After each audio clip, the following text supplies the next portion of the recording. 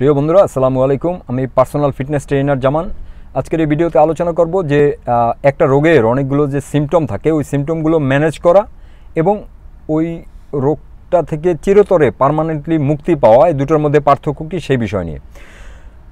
তো রোগটাকে যদি আমরা একটা গাছের সাথে তুলনা দেই, তাহলে গাছের যে গোড়াটা থাকে, ওটাকে বল, বলতে পারি রোগ, আর যে শাখা প্রশাখাগুলো থাকবে, ওগুলোকে সিমটম বলতে পারি। রোগ কিন্তু একটা থাকে, কিন্তু সিমটম থাকতে পারে দশটা, বিশটা, তিরিশটা।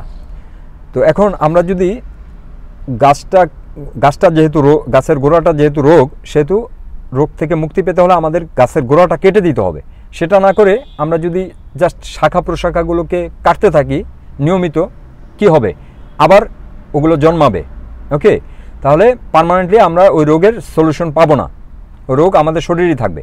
তো তেমনটি আজকের যে মেডিকেল সিস্টেম তারাও রোগগুলোকে একইভাবে ট্রিট করছে। তারা জাস্ট সিমটমগুলোকে আপনার ম্যানেজ করে যাচ্ছে, যেটাকে বলা হয় সিমটম ম্যানেজমেন্ট এজন্য একটা মানুষ যখন ডাক্তার বলে যে আপনার এই রোগটা হয়েছে স্পেশালি ক্রনিক রোগ হলে, ওই রোগটার, লোকটার মৃত্যু পর্যন্ত তার শরীর থেকে ওই রোগটা যায় না। হ্যাঁ তাকে কিছু মেডিকেশন দেওয়া হয় আর ওই মেডিকেশন বা ঔষধ ওগুলো সারা জীবন ধরে তার চালিয়ে যেতে হয়। তো অতপর আমরা বুঝতে পারলাম যে এই ধরনের আপনার এই ধর এই ধরনের প্রোটোকল বা এই ধরনের ট্রিটমেন্ট স্বাস্থ্যকর ট্রিটমেন্ট নয় বা এটা এটা কার্যকরী ট্রিটমেন্ট না। তো এখন কথা হয়েছে যে এই যে মেডিকেল সিস্টেম এরা এরা কেন বোঝে না যে আমাদের রোগটাকে কিউর না করে কেন আমরা সিমটমকে আপনার ম্যানেজ করার চেষ্টা করছি? তাদের মাথা কি এই ব্যাপারটুকু আসে না? তার পেছনের কারণ হচ্ছে আপনার তারা যেই যেই, এই যে মেডিকেল সায়েন্স এটা যেই সায়েন্সের উপর ভিত্তি করে আপনার চলছে, সেই সায়েন্সটার নাম হচ্ছে Newtonian physics. Okay? Sir Isaac নিউটনের মতে পৃথিবীতে আমরা যা কিছু দেখি, চোখে যা কিছু দেখা যায়, শুধু সেগুলোই এক্সিস্ট করছে। এর বাইরে আর কিছু নাই। যেমন এই একটা গাড়ি, এই একটা গাড়ি, এই দুইটার মাঝখানে খালি জায়গা আছে। এই খালি জায়গাকে এই নিউটনিয়ান সায়েন্স বলছে যে এটা জাস্ট ইমটি স্পেস খালি জায়গা, এটার মধ্যে আর কিছু নাই। কিন্তু তার অনেক পরে কোয়ান্টাম ফিজিক্স এসেছে যে কোয়ান্টাম ফিজিক্স ফিজিক্স বলছে যে না এই যে ফ্রি স্পেস বলতে কিছু নাই। স্পেস এই যে যেটাকে সায়েন্স ফ্রি ফ্রি স্পেস বলছে, এগুলো সব আপনার এনার্জিতে ভরপুর ওকে এনার্জিতে পরিপূর্ণ। আর এই গাড়িটা বা আমার বডিটা যা কিছু আমরা চোখে দেখি, এগুলো এনার্জির মাধ্যমে তৈরি। মানে এনার্জি দিয়ে এগুলো তৈরি এগুলো এনার্জি এগুলো এনার্জি কিন্তু এগুলো আপনার ভাইব্রেট করতেছে খুব হাই স্পিডে যার ফলে এগুলো সলিড মনে হয়। মনে হয় যে এগুলো আপনার সলিড কোনো জিনিস। কিন্তু অ্যাকচুয়ালি আপনি যদি পরবর্তীতে আপনার রাশিয়ান ফটোগ্রাফার আই থিঙ্ক একটা ক্যামেরা আবিষ্কার করেছে যেটা দ্বারা আপনার আপনার শরীর শরীর যে এনার্জি দ্বারা তৈরি সেগুলো ওই ফটোগ্রাফের মাধ্যমে দেখা সম্ভব। ওকে যেহেতু তাদের আন্ডারস্ট্যান্ডিংটা ভুল, তাদের তারা ভুলভাবে বুঝছে এই পৃথিবীকে সেহেতু তাদের যেই সায়েন্স, সেটা অবশ্যই ভুল হবে বা তাদের যে আপনার ট্রিটমেন্ট, সেটা অবশ্যই ভুল হবে। আর এই কারণেই তারা এইভাবে সিমটমের ম্যানেজমেন্ট করছে। তারা বডিটাকে, এই এই সায়েন্সকে, যেটা চলমান সায়েন্স, এটাকে বলা হয় রিডাকশনিস্ট সায়েন্স, অথবা তারা সব কিছু আইসোলেট করতে পছন্দ করে। মন- করেন আমাদের শরীরটা, এটা যে, এটাকে তারা মনে করে যে, এটা অনেকগুলো পার্টস যেমন একটা গাড়ির অনেকগুলো পার্টস থাকে এই পার্টসগুলোর সমন্বয় করে এই গাড়িটা বানানো হয়েছে। শরীরটাও ঠিক তেমনি অনেকগুলো পার্টসকে সমন্বিত করে এই বডিটা বানানো হয়েছে। তো এই বডিকে যদি আমার লিভারে একটা সমস্যা হয়ে থাকে তাহলে এই চলমান সায়েন্স অনুসারে লিভারটাকে আপনার সরিয়ে অন্য একটা লিভার এনে এখানে স্থাপন করলেই আমার আহ, সমস্যার সমাধান। বা আমার হাতে কোনো সমস্যা হলে হাতটাকে কেটে আরেকটা হাত লাগিয়ে দেওয়া যেতে পারে বা এই টাইপের কিছু। মানে শরীরটা যে আপনার আপনার সম্মিলিত একটা অঙ্গ, সেটা তারা বিবেচনা করে না। তারপর এই যে চলমান সায়েন্স তারা জীবাণুকে ওকে জীবাণুকে শত্রু মনে করে। ওকে জানি আপনার জার্ম থিওরি নামক থিওরি আছে। তো জীবাণুকে তারা শত্রু মনে করে। এই জন্য কত আপনার জার্ম কিলার তারপরে হ্যান্ড ওয়াশার, এটা সেটা জার্ম জার্মগুলোকে হত্যা করার জন্য। অ্যাকচুয়ালি জার্ম জার্ম বা জীবাণু হচ্ছে আমাদের বন্ধু। জার্ম ছাড়া আমরা বেঁচে থাকতে পারব না। আমাদের শরীরে total fifty trillion okay one thousand বিলিয়নে এক ট্রিলিয়ন সেই ফিফটি ট্রিলিয়ন সেল রয়েছে, আর ফিফটি ট্রিলিয়নের দশ গুণ বেশি রয়েছে জার্ম, জীবাণু। সেটাকে বাদ দিয়ে বা সেটাকে মেরে আপনি বাঁচতে পারবেন সেটা সেটা সেটা একটা ভুল ধারণা। ওকে। আর কোয়ান্টাম সায়েন্স মনে করে শরীরটাকে একটা হোল, হোলিস্টিক সিস্টেম। এই শরীরটা আলাদা কোনো সিস্টেম না। এখানে ফিফটি ট্রিলিয়ন সেল আছে। প্রত্যেকটা সেলের আমাদের, আমরা যেভাবে আমাদের, আমরা শ্বাস গ্রহণ করি, আমরা খাবার খাই, খাবার এলিমিনেট করি হজম করি সব কিছু আমাদের শরীরে যা কিছু ঘটে, এগুলো প্রত্যেকটা সেলে এই ফিফটি ট্রিলিয়ন সেলের প্রত্যেকটা সেলের মধ্যে ওই সেম কার্য কার্যক্রম ঘটে থাকে। প্রত্যেকটা সেলের ব্রেন আছে ওকে নার্ভাস সিস্টেম আছে সব কিছু একটা মানুষের মতো। তো কোয়ান্টাম সায়েন্স মনে করে যে আমরা হচ্ছি, আমাদের শরীরটা হচ্ছে ফিফটি ট্রিলিয়ন সেলের একটা দেশ। আর আমাদের যে কনসিয়াসনেস এটা হচ্ছে বা আমরা, আমাদের যে কনসিয়াসনেস সেটা হচ্ছে এই ফিফটি ট্রিলিয়ন সেলের গভর্নর ওকে একটা দেশের যেমন আপনার প্রাইম মিনিস্টার থাকে, তো আমরা হচ্ছি এই ফিফটি ট্রিলিয়ন সেলের প্রাইম মিনিস্টার যে চলমান যে সায়েন্স সেই সায়েন্সের মতে আমরা হচ্ছি জেনেটিকের ভিকটিম মানে আমার আমার পিতার যদি কোনো বা আমার, বা পূর্বপুরুষের যদি কোনো রোগ থেকে থাকে, সেই রোগ আমারও হবে। ওই সেম রোগে আমার মৃত্যু হবে।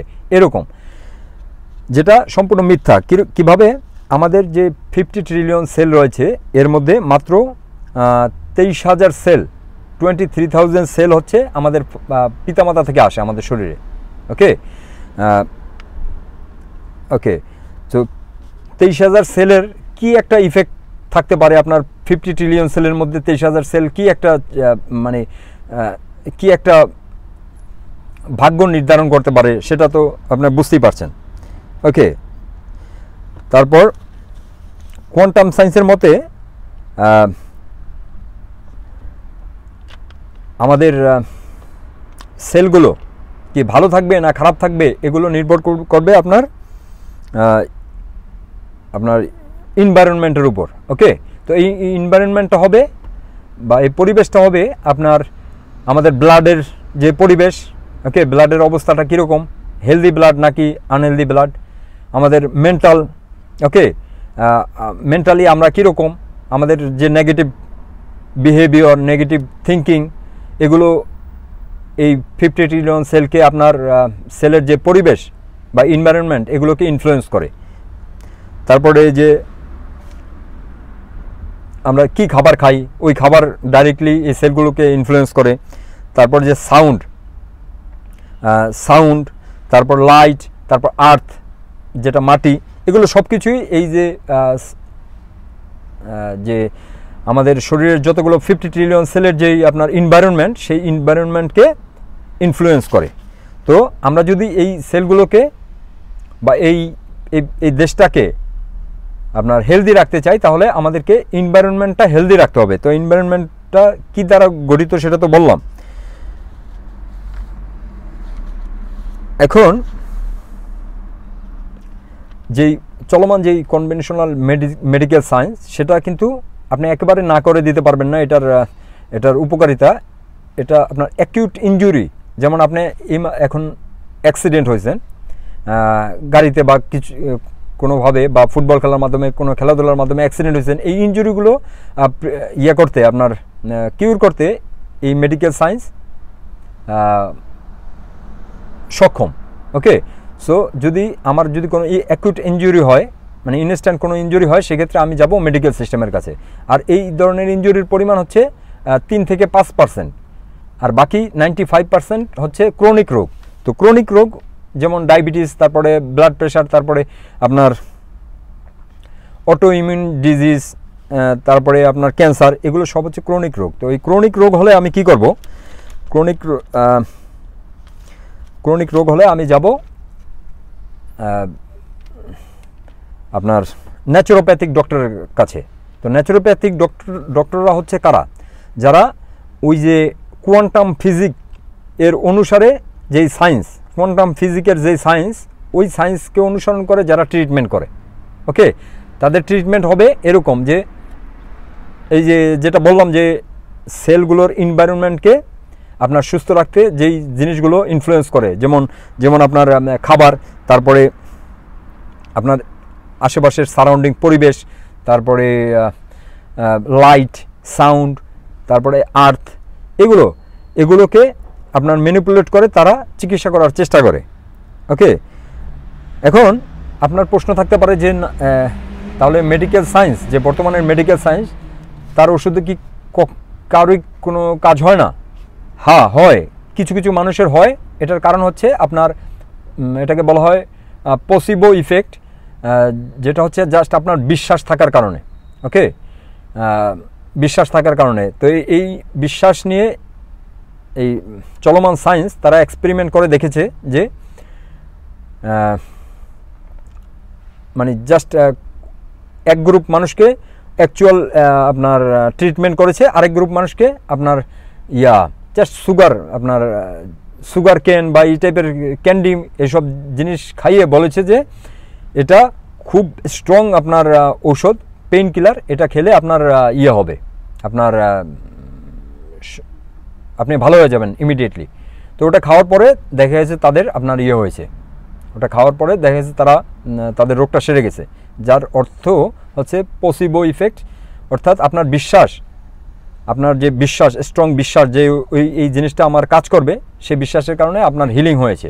ওকে তো এই যে চাইনিজ মেডিসিনে চাইনিজ চীনে একটা হসপিটাল আছে যেটার নাম হচ্ছে আপনার মেডিসিনলেস হসপিটাল যেখানে আপনার ক্যান্সারের ট্রিটমেন্ট করা হয় জাস্ট এই বিশ্বাসের।